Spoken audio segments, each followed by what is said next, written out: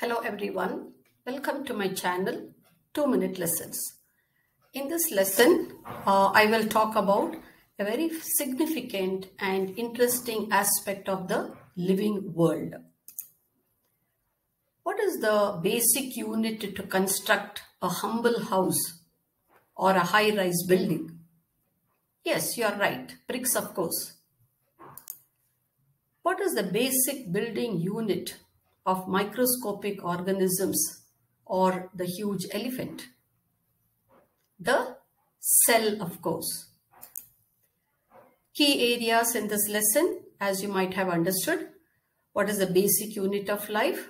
What is the importance of cell biology? And in specific, structure of the animal cell.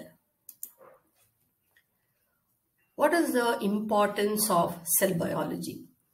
Learning about cell biology will increase our knowledge, gives us a better understanding of living things and our lives as well. We can analyze both genetic and cell information to produce a health forecast, or able to take more control over one's health in a preventive positive way.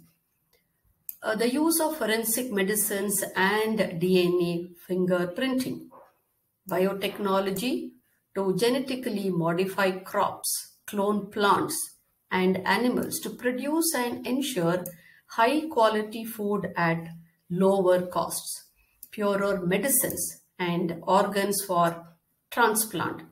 Above all, it could make a very exciting career choice. Both plants and animals perform so many life processes for their survival. How does it happen? With the help of the cells, the basic unit of life. Life processes like respiration, photosynthesis, circulation are carried out. All types of diseases and disorder begin at the cellular or molecular level. Physical damage like burns or fractures cause damage at the cellular level. We all know how the pandemic, the COVID-19 has impacted our lives. Let me tell you about the cell structure and function of a typical animal cell. The first part is the plasma membrane. It is a outermost cover. It is a semi-permeable membrane surrounding the animal cell. A single layered membrane. It is made up of lipids embedded with proteins and carbohydrates that regulate the entry and exit of nutrients. The functions, main functions, the plasma membrane include identification, communication, regulation of solute exchange through the membrane, and isolation of cytoplasm from the external environment. Next is the nuclear membrane. It is a double layered outer membrane covering the nucleus, also called the nuclear envelope. Only the outer membrane is porous. Chemically, the membrane is made up of protein and lipid. The nucleus is a cell organelle and apart from the nuclear envelope has a suborganelle such as nucleolus, chromatin and genetic materials. Chief function is to keep the organelles distinct and assist in transportation. I will take up an independent lesson on nucleus and its function in another session. Endoplasmic reticulum. Short form is ER. Endoplasmic reticulum is a cellular organelle with a thin winding network of membranous sacs that starts from the nucleus. Uh, this tubular structure is found in the cytoplasm. It is of two types.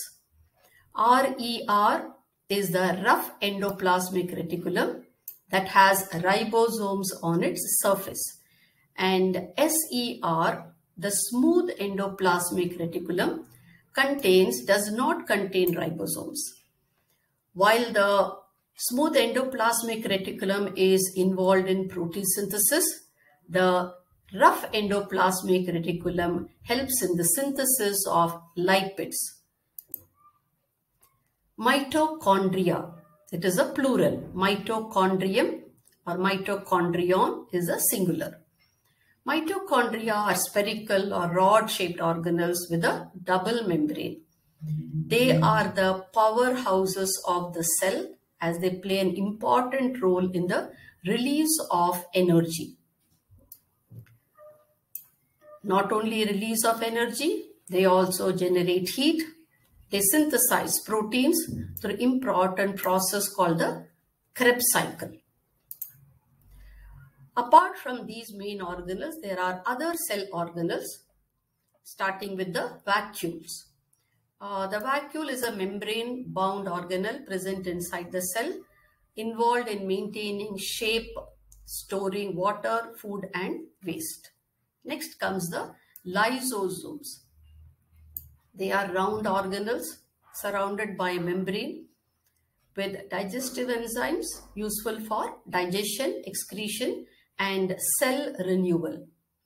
Golgi apparatus, also called Golgi complex, a flat, smooth layered sac-like organelle located near the nucleus that manufactures, stores, packs and transports particles throughout the cell. What about the ribosomes? Yeah, they are small organelles made up of RNA rich cytoplasmic granules and they are the sites of protein synthesis. And a very important part of the entire cell structure is the cytoplasm, a jelly-like material which contains all the cell organelles enclosed within the cell membrane. Thank you for your attention and time. Meet you in my next lesson.